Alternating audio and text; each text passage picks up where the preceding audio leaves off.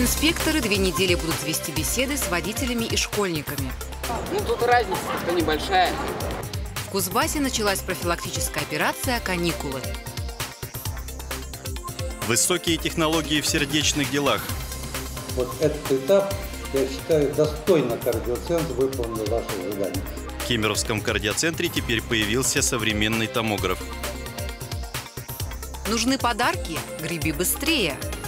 Современные дети заинтересованы в плавании. И, допустим, мы видим, что с каждым годом э, заинтересованность возрастает. Более 500 юных пловцов соревновались не перед судьями, а перед Дедом Морозом. В эфире «Вечерние новости» в студии Петр и Ксения Кривко. Здравствуйте.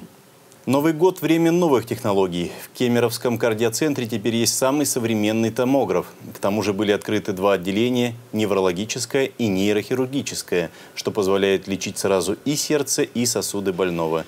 По словам специалистов, новый томограф также способен на диагностику щитовидной железы, печени и легких. Губернатор лично осмотрел хай-тек новинку и вручил орден Герой Кузбасса главному врачу Леониду Барбарашу который, в свою очередь, обозначил дальнейший вектор развития медицины в Кемеровской области. Аман Гумирович, я не сомневался в том, что вы меня поддержите. Действительно, следующее время мы закончили.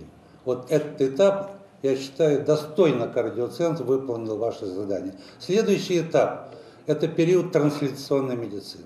Это период внедрения клеточных технологий, тканевой инженерии – геномной медицины, нанотехнологии. Это задача, которую надо поставить перед молодыми. В новогодние праздники большую часть дня школьники будут проводить не за партами, а на улице, предоставленные сами себе.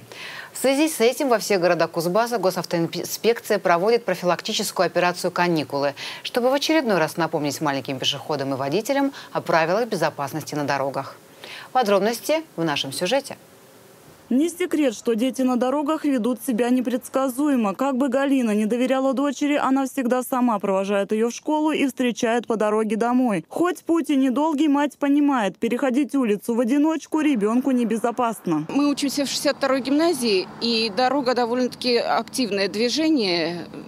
Три дороги переводить ребенка утром ну, опасно, я считаю. Хотя э, на светофор она у меня реагирует, а вот на переходы я думаю, что еще рановато. Маму сложно упрекнуть в чрезмерной опеке, ведь некоторые школьники действительно переходят дорогу исключительно там, где им удобно. Детская простота не знает границ, а оправдания находятся вполне себе взрослые. Почему ты не прошла по переходу? Я просто опаздываю. Ну, тут разница-то небольшая. Впрочем, некоторые взрослые ведут себя не лучше. Прежде всего, это относится к водителям. Из 60 детей, пострадавших в Новокузнецке при ДТП, лишь 19 поплатились здоровьем из-за собственной неосторожности. Остальным попались невнимательные автомобилисты. По вине водителей с начала года в городе Новокузнецке произошло 43 дорожно-транспортных происшествия с участием несовершеннолетних.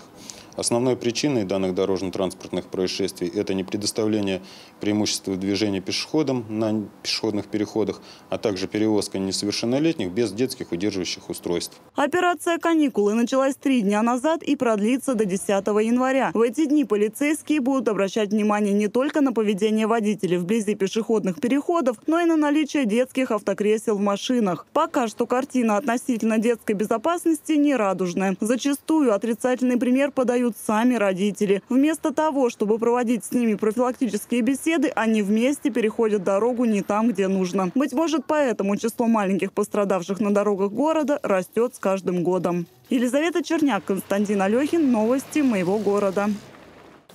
В России уже вторую неделю не стихают яростные споры вокруг решения президента Владимира Путина снизить цены на газ для братской Украины. Недовольные говорят о расточительстве и сговоре политиков. Но наш эксперт Дмитрий Сагара уверен, в будущем это решение пойдет на пользу обеим странам.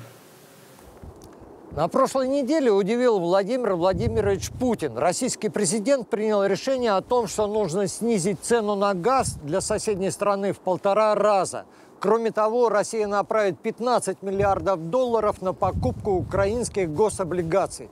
Фактически это льготный кредит. Зачем же такая щедрость? Пресс-служба Кремля находит только общечеловеческие слова. необходимость помощи братскому народу, историческая близость стран, родственность их судеб. Для российской промышленности было бы благом, если бы Украина была бы к нам ближе, роднее. Это огромная страна, это огромный рынок. Конечно, на встречу двух президентов и исторические стратегические решения повлияло многодневное противостояние на Майдане, где решается вопрос о том, куда пойдет Украина, на запад или на восток. Нашлись недовольные этими решениями и в России, и в Украине. Наши говорят, а зачем нужно отдавать чужой стране то, что мы накопили для себя на черный день?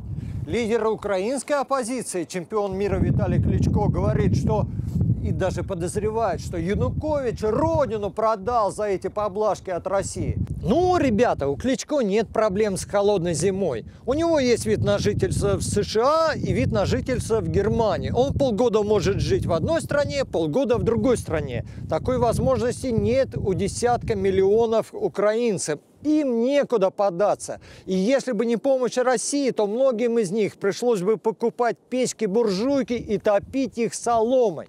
Слава богу, амбиции политиков на этот раз не помешают людям благополучно пережить холодную зиму. Нам не нужна холодная война с Киевской Русью. Нехай живе дружба великих славянских народов!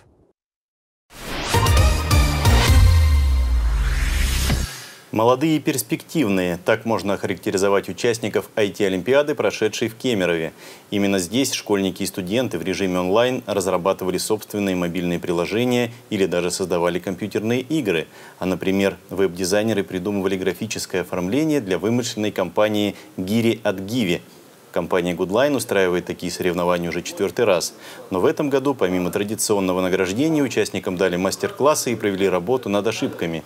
Генеральный директор заверил, что по результатам Олимпиады за виртуальное будущее Кузбасса можно быть спокойным. Одна из немногих крупных IT-компаний э, региона. Мы считаем своим долгом заботиться о подрастающих поколениях, которые придут на нашу смену будет э, работать на наше общее дело информатизация, автоматизация IT в Кузбассе.